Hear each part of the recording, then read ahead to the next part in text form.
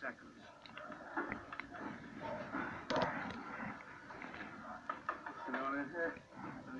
Every single room is checked straight away. Gonna hang up, you okay? Two women have been found in the sitting room. That's to detain every person moving from his warrant, alright. Yeah, found um, two home occupants there, mother and daughter. Happy to join in there now, so in slow time to them. These cops are well aware of the lengths that some people go to in order to hide drugs. One neglected there, look.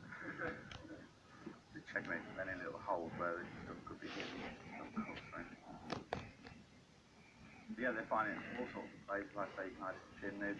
If there's a, carpet down there that's the corners up, they can lift that up and put them in a board. As you test, as you're going any sort of skirting boards that look a bit, maybe a bit baggy. Any of these that could be like not not right, so they can take them off and hide stuff in there. All sorts of places, really.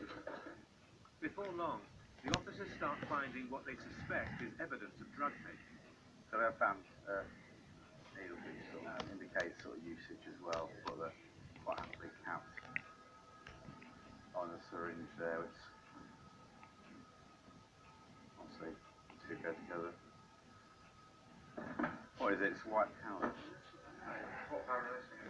Powder residue in it, though. It's like two little pills or something. Yeah. The cops have found lots of little plastic packets.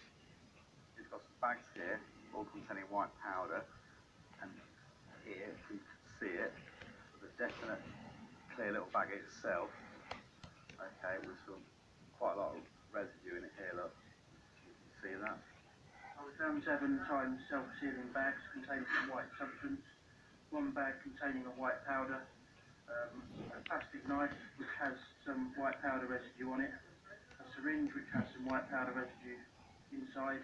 The two ladies that are at this address um, say that they both live at this address, um, so they're both going to be arrested on suspicion of possession of what we believe to be a Class A drug, and they'll be taken to uh, custody at Kings Lynn, where they'll be interviewed about what we found The white powder that was found in the house was later tested. The results showed it was amphetamines. The mother was released without charge, but her daughter was cautioned with possession of a Class B drug. If she's ever caught again, she could face prosecution. But these officers haven't finished yet. They're heading to a neighbouring town to carry out another raid.